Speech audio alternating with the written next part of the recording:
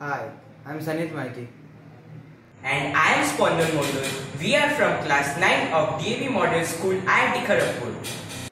One of the considerable problems these days are road accidents. According to TheHindu.com, sleep deprived drivers are responsible for more than 40% of the road accidents.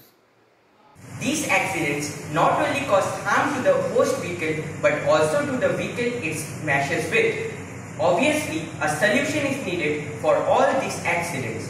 Finally, the solution has shown its face to the world. Welcome DriveEye, the ultimate solution for this problem. The idea is very simple of a very brief making. The device will detect the movement of eyes of the driver and act accordingly. What if the driver does not use it?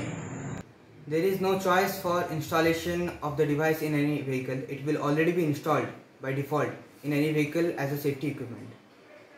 Instruments required for its making are blink sensor, display, buzzer, Node MCU and Arduino.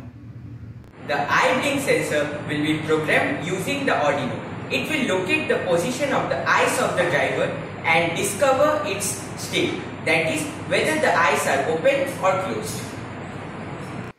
If the time the eyes of a driver are closed more than 800 milliseconds, the blink sensor in driver will notice that the driver had gone drowsy and it will give out a siren alarming the driver of his presence in the truck. The display system of the driver shows the number of time the driver had dozed in the present hour. If the number crosses 7, then a message will go as a question to the head of the travel agency of the truck or to the close relative or to the owner of the car through IoT, that is Internet of Things. The total DriveEye system can be installed in a vehicle within rupees 2000.